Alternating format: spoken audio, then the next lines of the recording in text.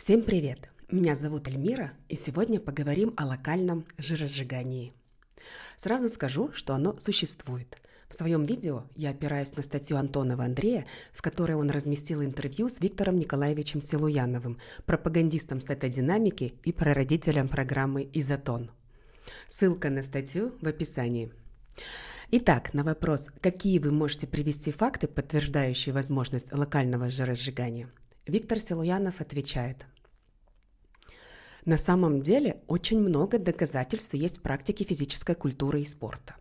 Нам часто приходится тестировать футболистов. Так вот, игроки Кавказских республик очень сильно озабочены своим внешним видом. И иметь рельефный пресс для них очень важная цель. В результате даже самый ленивый игрок в команде на каждой тренировке выполняет силовые упражнения на мышцы брюшного пресса. И как результат у всех до единого игрока четко выражены кубики пресса. А у игроков других клубов этого нет, но при этом толщина кожно-жировых складок в других областях у них практически не отличается от толщины складок кавказцев. В конце 50-х годов прошлого века в СССР появилась так называемая атлетическая, лучше сказать артистическая, женская гимнастика, изначально изобретенная для людей, которые закончили заниматься спортом. Еще до прихода в страну аэробики занятия этой гимнастикой и соблюдение балетной диеты, два яблока и стакан кефира в день, давали прекрасный результат – по мне, так маловато белка. Но, может, для балета именно эту цель и преследовали, снижение общего веса, и неважно, жир сгорит или мышцы полетят. Лично я не рекомендую. Следите за белком. А по поводу локального похудения можно привести данные Моховой. Была защищена диссертация в 80-е годы. Испытуемые женщины были разделены на группы в зависимости от вида двигательной активности. Одна группа тренировалась на лыжах, другая бегала, Третья занималась художественной гимнастикой, четвертая – плаванием и контрольная группа чем-то вроде ОФП. Через полгода после занятий было проведено антропометрическое тестирование всех участников эксперимента. Оказалось, что тот, кто бегал, потерял жир преимущественно с ног, тот, кто плавал – с рук. Поскольку в эксперименте участвовали не занимающиеся спортом женщины, которые не умели правильно использовать ноги в плавании и держались на воде преимущественно за счет мышц рук – в художественной гимнастике и лыжах жир уходил равномерно, и тогда стало ясно, что в зависимости от видов выполняемых упражнений будет зависеть и уход жира с сегментов тела. Кстати, обратите внимание на скандинавскую ходьбу. Этот спорт был придуман для финских лыжников, чтобы они продолжали заниматься даже в летнее время года. Там тоже задействуется 90% мышц. Позднее в стране появился новый вид физических упражнений – шейпинг. И в шейпинге занимались непосредственно формой тела, от английского шейпинг – придание формы. Занимающиеся сначала делали круговые упражнения на все мышечные группы, потом на проблемные зоны, то есть на определенные мышечные группы, чтобы там жир уходил. А это и есть локальное похудение. Первый круг делался на все 12 мышечных групп, а второй, третий и четвертый на те группы, где был избыточный жир. И результат был положительным. Тренировали мышцы живота, жир уходил с живота. Тренировали четырехглавую мышцу бедра, жир уходил с четырехглавой. И когда жир более-менее сходил, делались упражнения на развитие мышечной массы. Научное обоснование было примитивным, мол, жир уходит, потому что при низкоинтенсивной тренировке активен липолиз. Мысль верная – но при занятиях шейпингом выполняются локальные силовые упражнения в высоком темпе от 1 до 2 минут, до изнеможения, до частоты сердечных сокращений более 160 ударов в минуту, иногда до 200 ударов в минуту. О каком липолизе можно говорить после этого? Но локальное похудение происходит. Как это объяснить с точки зрения классической физиологии? У нас есть симпатическая нервная система – и когда мы начинаем заниматься физическими упражнениями, она активизируется. Под действием сигналов, проходящих по симпатическим нервам, возбуждение приходит не только к мышцам, но и к жиру, находящемуся над мышцей. Эти сигналы приходят и к надпочечникам, к их мозговому веществу, и оттуда начинает выделяться адреналин и норадреналин. Эти гормоны выходят в общий кровоток и усваиваются из него теми тканями, которые активны. То есть если спортсмен тренирует одну мышечную группу, то адреналин туда и будет поступать, и в мышечную группу, и в жировую ткань, находящуюся над этой мышечной группой. Нагрузка при этом должна быть стрессовой, Как правило, это так называемые гимнастические силовые упражнения, которые делаются на 20-30 повторений в подходе и вызывают сильное закисление, чувство жжения, которое приводит к болевому стрессу. При выполнении аэробических упражнений, задействующих много мышечных групп, адреналин и норадреналин распределяются по всему организму и способствуют общему похудению. Но самое интересное в механизме локального похудения другое – из окончаний симпатической нервной системы выделяется нейромедиатор. И если в мышцах медиатором служит ацетилхолин, то в симпатической нервной системе, которая активизирует жировую ткань, в качестве медиатора выделяется норадреналин. В 70-х годах, говорил профессор, у нас в лаборатории работал советский ученый Болховских. Он изобрел электростимулятор, который профессор Коц использовал в подготовке и лечении хоккеистов, а потом в Америке продал лицензию, и теперь этот метод электростимуляции мышц называется русский ток. Так вот, Болховских регулярно проводил электростимуляцию. Ой, сейчас, секундочку. Алло? Вот, Болховских регулярно проводил электростимуляцию и был первым человеком, который обнаружил, что в процессе электростимуляции под электродами начинает уходить жир. А как он это обнаружил? У него уже в то время был ультразвуковой прибор, позволяющий определять толщину кожи, толщину жира и мышцы до кости. При электростимуляции надпочечники норадреналин не вырабатывают, так что общего повышения его уровня в крови не наблюдается. Идет выработка только локального нейромедиатора, который диффундирует, то есть проникает, смешиваясь а путем диффузии, самопроизвольно распространяется во все стороны – близлежащие ткани, в том числе и в жировую, где способствует локальному липолизу. Потом появились ребята из Ленинграда, которые создали по аналогии специальные приборы, которые рекламировали в качестве локального жиросжигания, стали их продавать и в советское время стали довольно прилично зарабатывать. Вот именно электростимуляция абсолютно точно доказывает факт возможности локального жиросжигания. Вызвать ее можно как электростимуляцией, так и локальными силовыми упражнениями. В аэробике этим никогда не занимались, и поэтому аэробисты пишут о невозможности локального жиросжигания. А мы все время этим занимались, говорит Силуянов локальными статодинамическими упражнениями. И у нас, соответственно, совсем другие данные.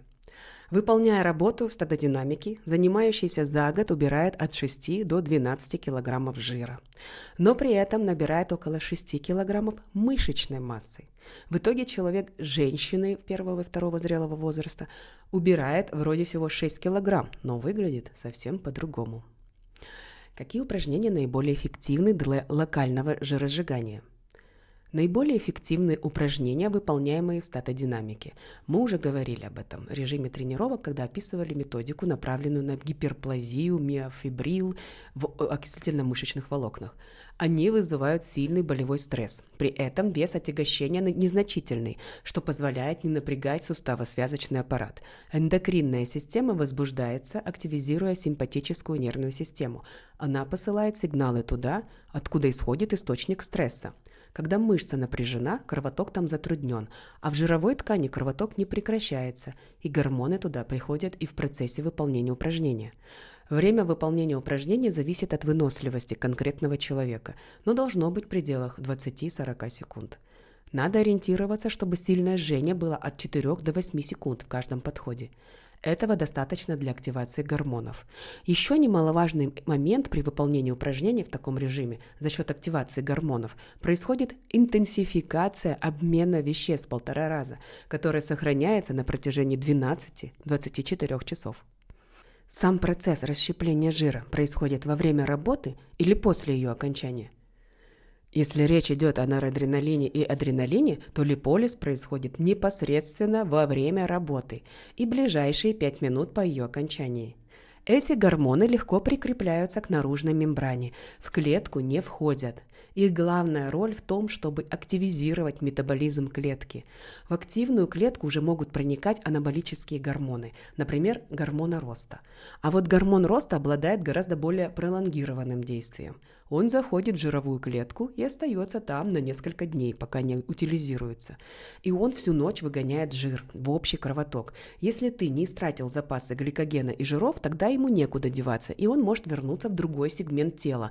А если во время тренировки произошли энергозатраты, тогда этот жир пройдет, пойдет на восстановление энергетического потенциала мышц и на пластические процессы. Мы худеем и наращиваем мышцы в основном ночью, во время сна. И не под действием адреналина и норадреналина, а под действием гормона роста и тестостерона. Но если говорить о женщинах, то у них тестостерона мало. И главным фактором, стимулирующим выход жирных кислот в кровь, является гормон роста. У мужчин и женщин этот гормон выделяется в одинаковых количествах. На ряде форумов, посвященных силовому спорту в темах о локальном жиросжигании, часто приводят цитату из книги оздоровительная тренировка по системе изотон. Мол, к сожалению, распределение жира находится под сильным генетическим контролем, поэтому локально жир можно удалить только хирургическим путем липосакции. И спрашивают, как же профессор Силуянов может говорить о локальном жиросжигании, если сам в своей книге пишет обратное? На что Виктор Николаевич отвечает – Данная книга была написана мной в соавторстве с Евгением Мякинченко, и цитируемый раздел писал он. В то время он интенсивно изучал аэробику, сотрудничал с русскими и иностранными специалистами, писал книгу по аэробике. Возможно, текст для аэробики он ставил неосмотрительно в книгу про изотон. Я не откорректировал текст перед печатью, поскольку не мог допустить, что мои ученики, которые экспериментально показали возможность локального похудения, могли написать такой некорректный текст. Мое мнение по поводу локального жиросжигания однозначно. Это научно установленный факт. Кстати, я все жду, когда книга «Клиническая физиология стройности» выйдет в печать. И сначала я испугалась, неужели ее написал Мякинченко? Прогуглила, оказывается, Николай Милянченко. Классная книга. Ее уже прочитала Ирина, автор канала «Фиона. Второе дыхание». В эту книгу Николай Борисович Милянченко упаковал свой 20-летний опыт работы в изучении процесса ожирения.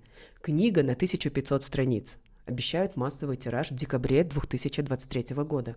Надо искать на Озоне. Итак, продолжаем обзор интервью. Что вы можете сказать по поводу диетических рекомендаций в период избавления от лишнего жира? Есть тренировочный день, когда мы делаем статодинамическую тренировку. Малая калорийность сопряжена с голодом, а голод связан с работой мозга. Чтобы мозг отключить от голодовки, надо постоянно вводить маленькие дозы углеводов до и во время тренировочных занятий, а также сразу после них.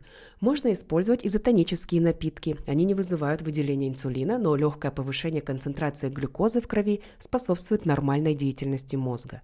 Есть и другие продукты, помогающие нормализовать деятельность мозга на сниженной калорийности питания. Например, на ночь мы рекомендуем принимать постное мясо, чтобы повысить концентрацию аминокислот в крови во время сна. Не только. Помимо непосредственно строительного материала, в постном мясе присутствует ряд ингредиентов, которые могут усвоиться в мозгах вместо глюкозы. Например, кетоны, что нам нужно принять после тренировки, направленной на жиросжигание. После тренировки нужно обязательно принять небольшую порцию углеводов, не приводящую к выбросу инсулина. Например, съесть одну конфету и запить изотоническим напитком.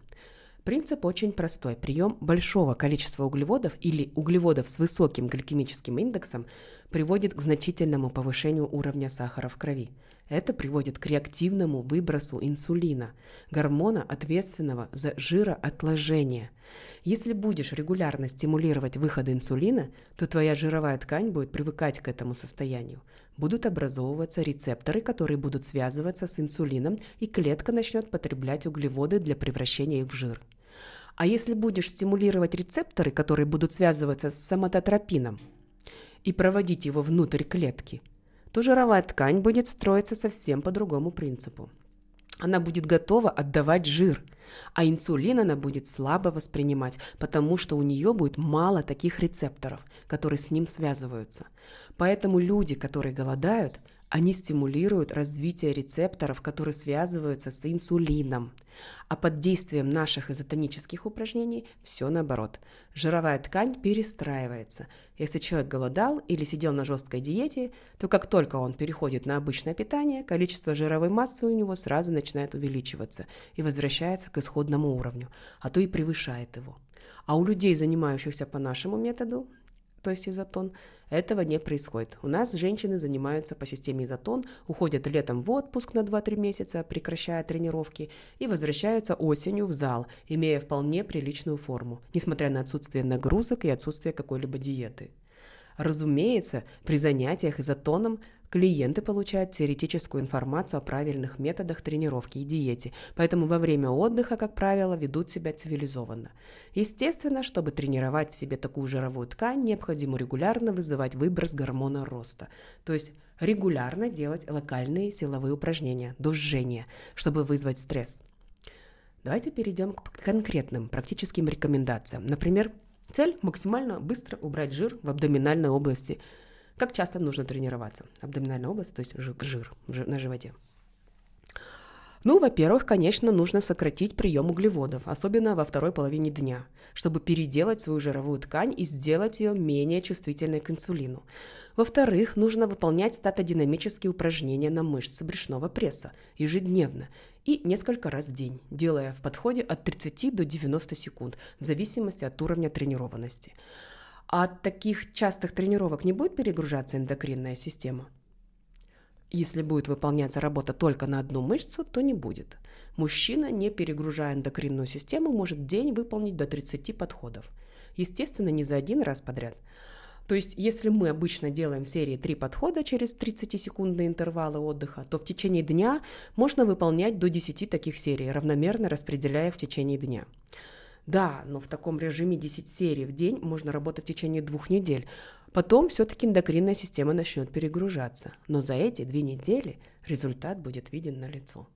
Но 10 серий – это, конечно, слишком жесткий режим, когда кровь из носу требуется убрать живот за две недели. Обычно мы рекомендуем делать серию упражнений на пресс через 30 минут после каждого приема пищи.